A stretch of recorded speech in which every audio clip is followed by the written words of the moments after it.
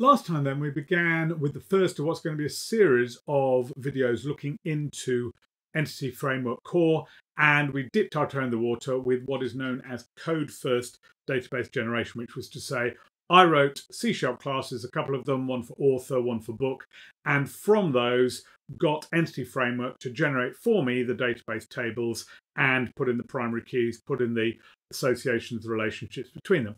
And that's certainly for me as a developer the way I tend to start out.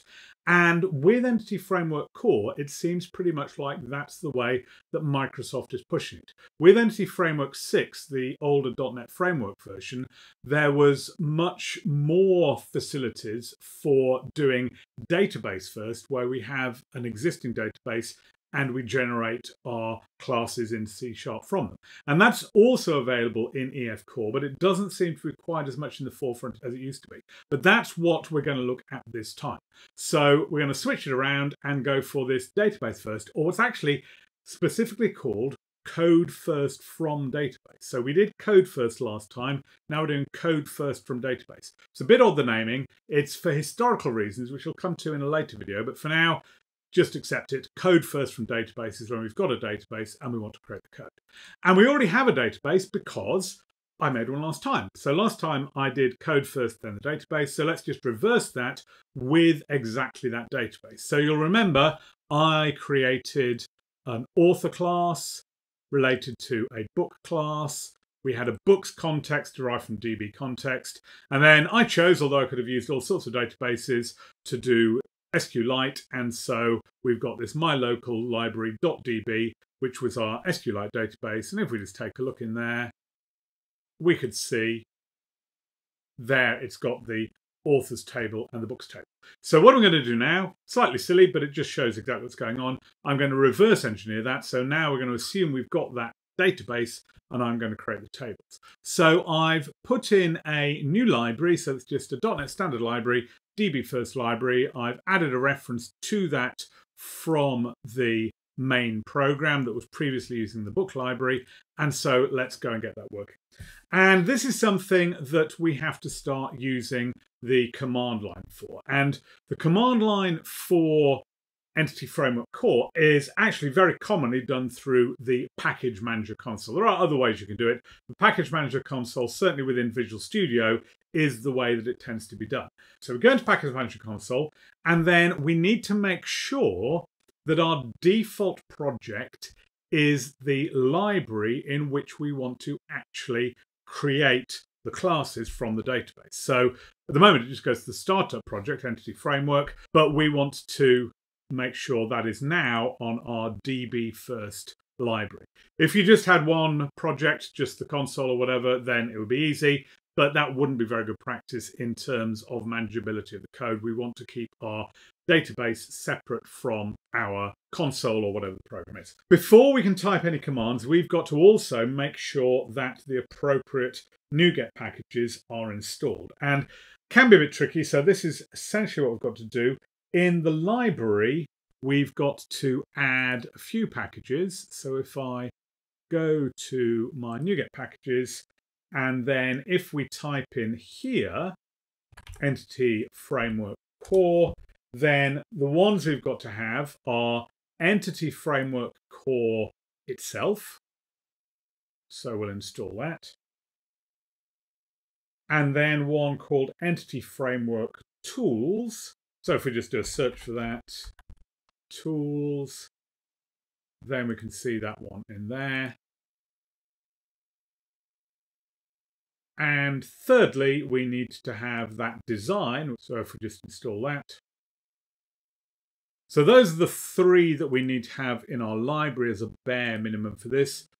Core itself, design and tools. And then also in our main project, so that's our entity framework project, we've also got to put that design library in there. So if I just go to the package manager for there and do a quick search for design, there's our entity framework core design. Install that. And then that should give me the bare minimum that I need to make this all work. Then if I go back to my package manager console, then what I need to do is use the command scaffold dash db context. So scaffold means create, code generate, whatever you want to call it, and db context, remember our db context is the connection point to the database. So that's what's called that. But it will be generating a little bit more than just the DB context.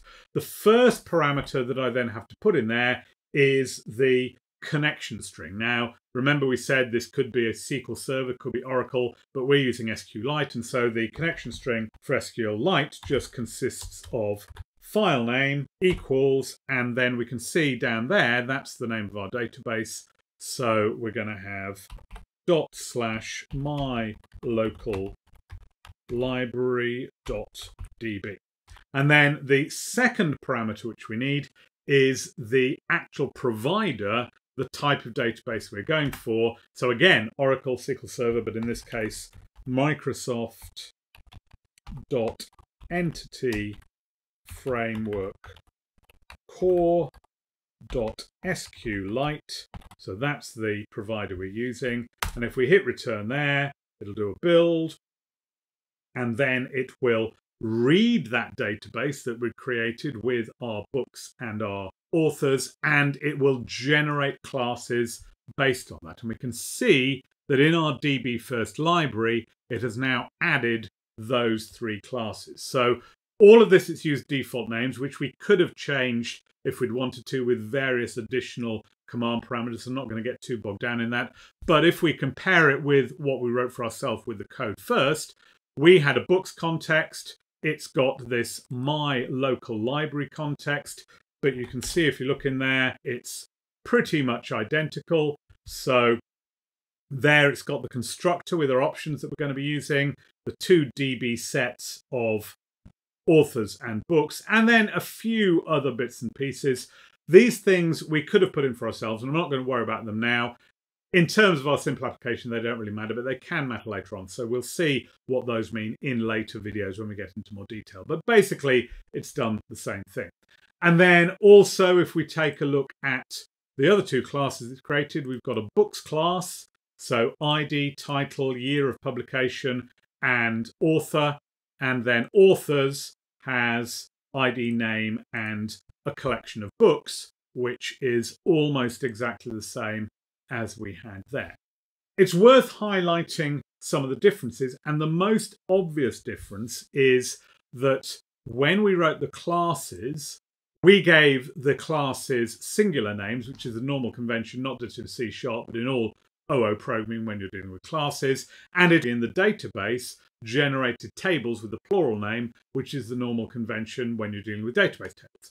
That didn't happen automatically on the way back. So on the way back, when we just generated those classes, it just made the class names the same as the table names, which is an irritation. There are ways around it. They're quite complicated. I'll try and give a link to some websites that explain that, but I don't think I'll waste time going through it too much myself. But it does just show how Microsoft are kind of not putting the emphasis into this database first that they used to. In EF6, that was very easy to do. Just click a checkbox when you're doing this. But not too much to worry about. Um, other things that it's put in there, it's just been a little bit more verbose about various things, but other than that, that was the main difference. And just to demonstrate that that's all going to work, let's go back to our program now. And in here, rather than having our books context, which was the context I wrote for myself, let's change that to the generated one, which took the default name based on the database, my local library context and get hold of the namespace. And then also, I'm just going to have to change what's going on there so that it's a DB context builder for the right thing. That all adds up okay. And actually, quite luckily, because I've made extensive use of var, the difference between the fact that previously I had classes in the singular author book and I've now moved to authors and books actually that's all dealt with. So we can now see our recent books is an iqueryable of books, plural, not singular. So it's all coped with that quite nicely. And that just means it's really easy because now if I run this code, we can see one slight problem there actually in that in the db context, it's actually put this code in that we don't really need. So for now, I'm just going to delete that. We will look at other ways of doing the configuration. It was just a, a reference missing there. And so now if we run that, then we can see that it's not actually working correctly. What we can see it says is db first library.books, db first library.authors. And the reason for that is the code I'd written simply relies on both book and author having a toString. And if you remember from the previous video, I'd put those in fairly simply, but those aren't generated for us. You can see in books and in authors, we don't have a toString. Now, we've got to be a bit careful here because these two classes are generated for us by that scaffold DB context tool. And if we ever made an update to the database and then wanted to regenerate our classes, we would basically be splatting over completely that generated code. So if we, having generated the code, start putting any functionality into it, we're running the risk that that may be lost. And that possibility has been anticipated by the fact that all of these classes, so the DB context and authors and books, have all been declared as partial. Partial is a lovely keyword in C Sharp designed for exactly this situation. It means that we can put a bit more information about this class into a different file. And in that different file, that's where we can put the toString, and that will be safe. And if this file is ever regenerated, fine, but we won't lose our own code. So what we then need to do is something like this, is to say add another class. Now, the temptation is to have a class of exactly the same name. And in fact, we do have to have a class of the same name, but what we don't want, what we can't have, is a file of the same name. So if I were to try and say books and do add, we'll get an error that books already exists. And there's two ways around this. One is we could just simply have a file with a different name but give it the same class name. So we could have a file called books additions with a class called books. But the way I prefer to do it is to use folders. So if I just add a folder in here called additions, and then into there add a class called books, that's now allowed because although it's the same file name, it's the same file name in a different folder. But then the thing to watch out for is because this is in a different folder, by default, it has a different namespace. And this book's here has to be in the same namespace as that book's there. So the other thing we have to do, remove that additions. So they're now in the same namespace. And then say public, and we have to have partial on both fragments. But now we can see the magic, because if I just do an override of toString in here, and then say return, if I were to say this dot, we can immediately see ID and title and year of publication are all just there waiting for us. Even though they're actually declared in this other books, they're available to us. And so all I need to do here, in fact, let's be really lazy. Let's just steal that code there that I had in the original one. Pop that in there. And then a similar sort of thing for authors. So call it authors, then take off the extra bit on the namespace, then public partial, and then in this case, I'm going to do uh, override of toString, and this one just returns the name, which again is there. So we can see that that's hooked up to that authors. And now, when we run the code, we'll see it works exactly as it did before. So remember, we're filtering there on author since 1900. So the toStrings being called. Everything else exactly the same as it was before. So things like the fact we had to include the author, just the same as it was before. But in that case, we got the system to generate the classes for us based on an existing database.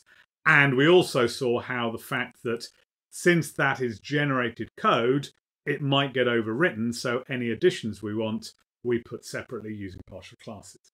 So there we have it for our first look at Entity Framework Core. We've seen how we can do code first, so write the code, get it to generate the database.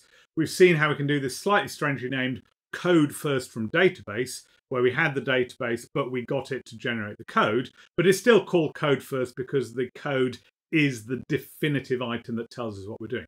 Next time, I'm going to take a bit of a step back and look at these features in EF6, the slightly older technology, and we'll see why there's another option there, and that's why we have the strange name of code first from database, because there we've got a genuine DB first. But I hope that's been helpful. If you enjoyed it, do subscribe, do ask any questions, and I'll see you next time with a look at EF6.